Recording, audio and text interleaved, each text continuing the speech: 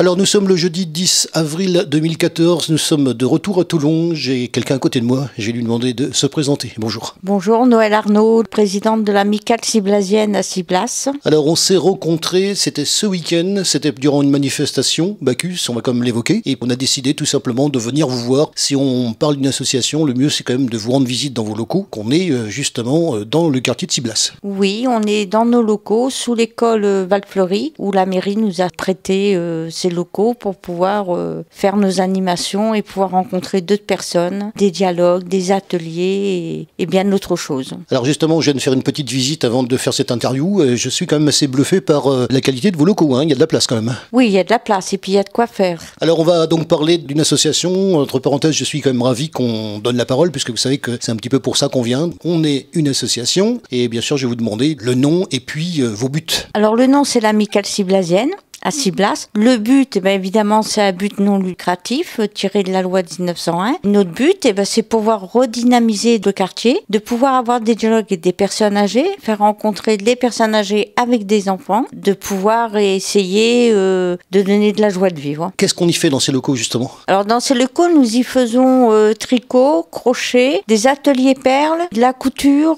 de la peinture, des poteries, euh, mosaïques, etc. Alors moi, j'habite le quartier, euh, je vous connais pas, je viens ici, euh, je viens de demander d'adhérer. Qu'est-ce que vous allez me proposer? Alors je vais vous proposer tout d'abord une adhésion à l'année qui permet de pouvoir euh, couvrir nos adhérents en cas d'accident dans les locaux, ce qui est quand même important. C'est quand même euh, agréable de se savoir couvert en cas d'accident. Et j'imagine aussi que, parce qu'on va en parler aussi, donc il y a, il y a le but euh, de votre association, mais il y a aussi, alors une association, ça marche avec beaucoup de bonne volonté, ça je le sais, mais ça marche aussi avec des moyens, des, des recettes. Alors justement, quels sont vos moyens Vos différents moyens, devrais-je dire? C'est toutes nos animations que nous pouvons faire dans l'année, donc vide-grenier, au moins deux par an, Euh, des sorties, carnaval, nous faisons des crêpes parties, la fête des voisins. Bien sûr, c'est gratuit, mais les boissons sont payantes pour commencer. Ensuite, euh, nous avons euh, l'aide de Kinjway, qui est magasin au lieu, et puis qui nous permet de faire les paquets cadeaux du milieu de l'année jusqu'à la fin de l'année, ce qui nous fait rentrer des fonds. La mairie, par rapport aux subventions, ainsi que TPM, euh, voilà. Et donc, euh, bah, justement, euh, les locaux servent à tout ça. On va parler également des lieux d'animation. On a fait un petit briefing juste avant de commencer, c'est quand même normal qu'on sache un petit peu de quoi on va parler. Moi, j'ai entendu que d'une part, les animations avaient lieu donc euh, en partie dans ces locaux et en partie ailleurs. Dans les locaux, oui, quand il pleut. Quand il fait beau, ben, on fait tout à l'extérieur sur le stade qui est en face le local. Qui s'appelle Le stade Anselmi, qui fait partie du quartier. Oui, parce que si on est dans un quartier, autant parler du quartier aussi. Hein. Quartier très bien, très calme, euh, très réjouissant. C'est vraiment un beau petit quartier. Il faut venir, faut connaître. Alors, euh, donc, on a aussi, euh, d'après ce que j'ai compris, le but c'est de faire venir du monde, mais de manière à ce qu'on se sente un petit peu moins seul, parce que c'est aussi une sorte, je sais pas si je peux dire ça, mais une sorte d'entraide aussi, que les gens, bah, ils soient là, donc on, on les occupe, ça leur donne aussi peut-être un but. Oui, tout à fait. Déjà rien que par rapport à nos cours de chant, on s'est aperçu, ben, on a des personnes âgées qui sont ravies de venir et puis ils chantent et puis ils se sentent pas seuls. Après, il y a des rencontres, comme je disais tout à l'heure, avec des enfants qui permet d'avoir un dialogue entre personnes âgées et enfants et qui peut redonner un peu le sourire à toutes ces personnes. Alors, je pense aussi qu'il y a quelque chose qui se passe le jeudi. Euh, le jeudi, il se passe quoi de particulier? Alors le jeudi, c'est des ateliers euh, manuels tels que du pochoir, mosaïque, un peu peinture, euh, tricot, etc. Les autres jours de la semaine, c'est un peu plus différent parce que le mercredi, on a le cours de chant donc de 16h30 à 18h30. Donc à partir de ce moment-là, le mercredi, ça fait trop court pour pouvoir euh, entamer un atelier avec euh, des enfants ou d'autres personnes. Moi, je suis euh, bah, du quartier, euh, je me sens seul, j'ai envie de faire quelque chose, donnez-moi envie de venir. vous donne envie de venir passer la journée avec nous, on discute. Si vous êtes d'un certain âge, eh ben, on discute de votre passé. Je crois qu'il y a aussi peut-être justement le fait de d'abord de pousser la porte, tout, tout bêtement. Hein, donc on connaît pas, on n'a peut-être pas justement la démarche de venir voir. Ce qu'il faut dire, c'est ben, venez, venez voir au moins. Oui, venez voir. Ayez un peu de curiosité. Tout à fait. Et on est là avec le sourire, on vous accueille avec le sourire, de la bonne volonté, avec du cœur, avec euh, de l'amour, avec tout ce que vous avez envie de voir qui n'est pas chez vous, vous tendre la main. Moi je dis dis que c'est magnifique parce qu'on a eu des bons résultats déjà en faisant cette interview. Je pense que je vous donnerai encore l'envie de pouvoir venir et de pouvoir toujours ouvrir la porte et de vous apporter un plus.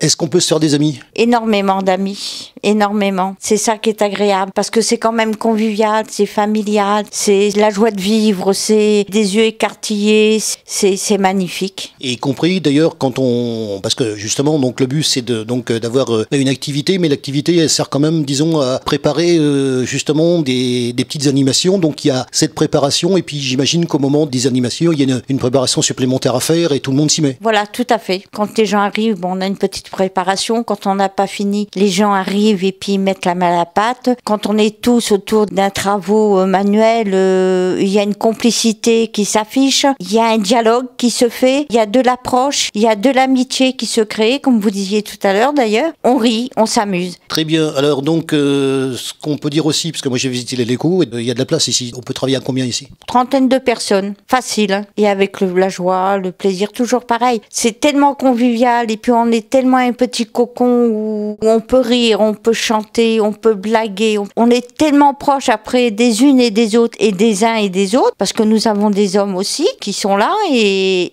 et c'est parfait. Oui, je vais poser aussi une question euh, qui a trait donc euh, au quartier. Question bête, est-ce que l'association est connue dans le quartier? Oui, elle est connue dans le quartier. Quand même, hein, c'est la moindre des choses, mais bon, je préfère pr- poser la question quand même. Elle est connue, oui, par rapport nos- aux anciens présidents, aux anciens membres.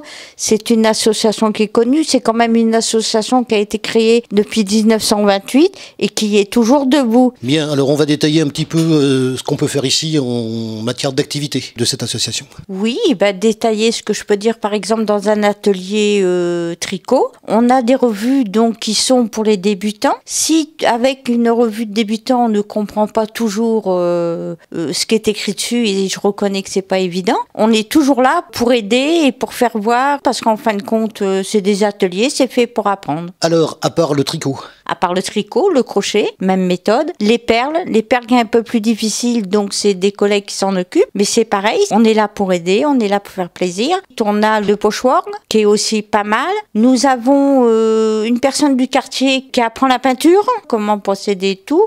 Une dame qui faisait du fuseau et qui nous a appris euh, ce qu'était le fuseau. De la dentelle, donc qui nous apprend aussi à voir un petit peu au niveau de la dentelle. Euh, c'est tout un tas de petites choses qui peut amener beaucoup de monde et puis on est très accueillant et avec le sourire, vous verrez. alors on va revenir sur les différentes activités. Moi, c'est ça- c'était ça le, but de ma question. Donc, j'ai entendu des vides greniers et puis quoi encore Des arbres de Noël. Alors oui, des vides-greniers. On a fait aussi le 21 juin la fête de la musique, 14 juillet pour le bal du 14 juillet, puis le 15 août pareil. On a l'arbre de Noël, qui l'arbre de Noël quand même emmène à peu près euh, 90 enfants avec euh, les parents, grands-parents et, là euh, tout le monde s'y met, c'est agréable, on prépare l'arbre de Noël. Il y a un orchestre ou alors euh, notre chef de chœur, on prépare des chants et on chante nous-mêmes. C'est toutes des petites choses euh, familiales, conviviales. Et puis euh, à l'arbre de Noël, ben, il y a les jouets, ils ont les bonbons, les chocolats. Après, ben, ils peuvent danser. Il y a une loterie. Cette année, à cette loterie a été gagnée une DS3. On a fourni des paniers garnis, plusieurs lots. Voilà, on était contents parce qu'on on a vu les enfants partir avec les yeux pleins de joie, pleins de sourires. Donc je dis que c'est formidable. Les enfants ont été heureux, nous on a été heureux. Alors, si on s'est rencontrés, c'est tout simplement pendant le week-end. Je rappelle que j'ai connu Hervé Cuesta euh, durant l'édition 2013 de Bacchus. Je l'ai interviewé, donc il m'a expliqué euh, en quoi consistait sa démarche de récupérer les bouchons pour l'association France Cancer. Vous ici, vous récupérez les bouchons pour cette association. Avec Hervé, je me suis proposé de pouvoir récolter les bouchons en liège euh, à l'amicale. Vous êtes donc un, point de dépôt pour les bouchons. Tout à fait, pour France Cancer et, pour Hervé. On s'est rencontrés, on, on a pu parler, discuter, ça s'est fait et puis on continue à récolter les bouchons. Ne les jetez pas, ça vaut de l'argent. On va parler aussi des animations en extérieur, hein, de manière à ce qu'on puisse avoir euh, une idée. Quand vous êtes euh, en animation en extérieur, alors c'est pareil, hein, donc on peut venir vous voir aussi euh, comment ça se passe en animation en extérieur. On a des stands, buvettes, euh, pâtisserie, euh, sandwich. euh, on a des stands aussi, des jeux pour enfants, pêche à la ligne, boîte de conserve, l'œuf dans la cuillère, etc. Qui sont pas dangereux. C'est une sécurité pour l'enfant, pas faire n'importe quoi non plus. Ensuite, ben, on a des champs et tout le monde est content et on profite de cette journée euh, du mieux possible. Très bien. Ben, merci de nous avoir euh, présenté votre association, hein, puisque je vous rappelle que ben, notre but c'est ça. Vous avez donc vu les sujets finalisés. Qu'est-ce que vous en avez pensé? J'ai trouvé ça super beau, euh, de l'attirance dans la présentation des stands, euh, des photos hyper réussies et en plus très agréables à regarder et à voir. Et au niveau, de, comment dirais-je, de la pédagogie des sujets, si je peux dire, Très bien, parce que c'est grand public. parce que c'est grand public, justement.